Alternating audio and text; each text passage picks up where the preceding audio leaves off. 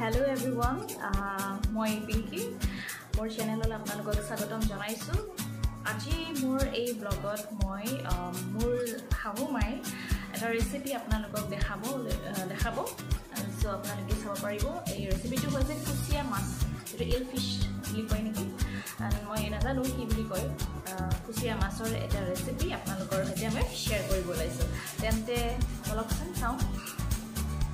মোৰ শাহু মা আহ, বহুত বনাব জানে ভাল ভাল মানে ৰেচিপিজবিলাক জানে। তো এনেদৰে মই এই চেনেলত আপোনালোকৰ লগত মই শ্বেয়াৰ কৰি যাম। যি মই যিবিলাক ৰেচিপি মোৰ শাহু মাৰ পৰা মই দেখিবলৈ পাইছোঁ বা টেষ্ট কৰিবলৈ পাইছোঁ এইবিলাক আপোনালোকক মই শ্বেয়াৰ কৰিম চ' আদা নহৰু পেষ্ট বনাই আছোঁ। এইটো ভেদাইলতা পাত। গণ কচু এয়া গণ কচু নৰসিংহৰ পাত? মানিমুনি? এয়া পিঁয়াজ জলকীয়া আপোনাৰ এয়া আদা নহৰুৰ খুন্দি আছে। ইয়াতে আমাৰ ৰাইচ কুকাৰত ভাত হৈ আছে। এই কুচিয়া মাছখিনিত আমি অকণমান নিমখ ছটিয়াই দিম আৰু লগতে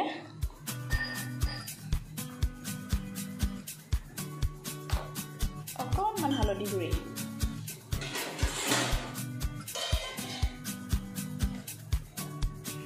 কেৰাহী বহাই দিছোঁ কেৰাহীত আমি ফ্ৰাই কৰিম। কুচিয়াখিনি আমি আগতেই ধুই লৈছিলোঁ ভালকৈ ধুইছিলোঁ কিন্তু টেষ্টটো ওলাইকৈ ওলাই থাকে আৰু শৰীৰৰ বাবে খুব ভালেই। এনেদৰে ফ্ৰাই কৰিম।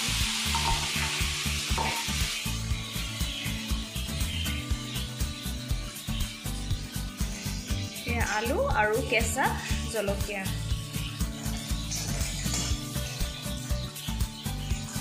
হ'লে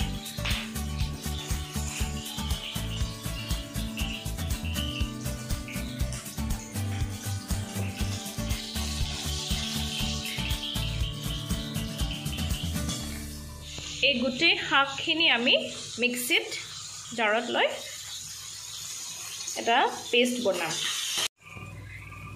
এতিয়া এইখিনি তেলতে আমি এই আলুখিনি ভাজি ল'ম। এয়া তেলত পিঁয়াজখিনি দিলে আৰু আলুখিনি ফ্ৰাই কৰা আলুখিনি। জলকীয়া দিব লাগিছিলে কিন্তু আমি ইয়াতে জলকীয়াটো লাষ্টত শেষত ব্যৱহাৰ কৰিম কাৰণ আমাৰ দুবছৰ এয়া বেবী আছে তো তাই ইয়াৰে পৰাই আমি আঞ্জাটো দিম।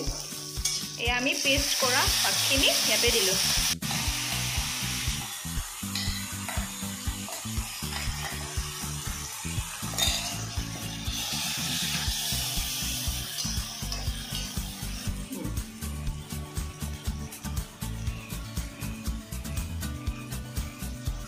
আদা নহৰু পেষ্টখিনি ন?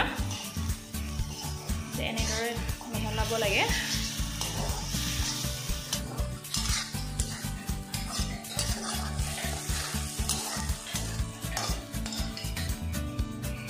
নিমখ সোৱাদ অনুসাৰে দিব। এতিয়া হ'ল মচলাখিনি দিয়াৰ সময়। হালধি গুড়ি অকণমান। জিৰা গুড়ি অকণমান এক চামুচ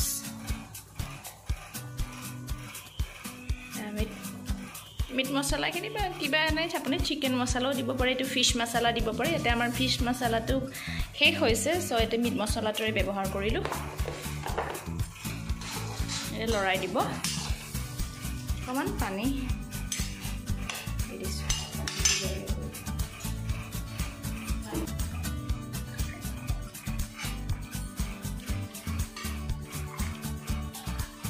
বেছিকৈ পানী দিব লাগে। চাওক পানীখিনি দিয়া হৈছে। এই পানীখিনি ঠিকছে ভালদৰে উতলিব লাগিব। তেতিয়াহে আমি মাছ এই কুচিয়া মাছখিনি আমি ইয়াতে জোলত দি দিম। ধুনীয়া উতল আহিছে। এই আমি এইবাৰ ইয়াতে মাছখিনি দি দিছোঁ। অকণমান আৰু উতলিবলৈ দিছোঁ। অকণমান সময়। এয়া তৈয়াৰ হৈ গ'ল কুচিয়া মাছৰ ঝোল আঞ্জা এয়া শৰীৰৰ বাবে বহুত পুষ্টিকৰ। আপোনালোকে ট্ৰাই কৰিব। বহুত টেষ্টি হয় বিশ্বাস কৰিব। আপোনালোকে ট্ৰাই কৰি চাব। বহুত ধুনীয়া হয় এই আঞ্জাটো খাবলৈ। সেউজীয়া শাক পাচলি দিয়াৰ বাবে ইয়াৰ ৰংটো অকণমান সেউজীয়া হয়। আজি মই এই ৰেচিপিটো আপোনালোকৰ লগত শ্বেয়াৰ কৰিলোঁ। আপোনালোকে ঘৰত ট্ৰাই কৰি চাব পাৰে। অনেষ্টলি বহুত হেল্ডি এণ্ড টেষ্টি মানে ৰেচিপি হয় আপোনালোকে নিশ্চয় ট্ৰাই কৰিব। আৰু বেলেগ বেলেগ ৰেচিপিজবিলাক মই আপোনালোকৰ লগত শ্বেয়াৰ কৰিম।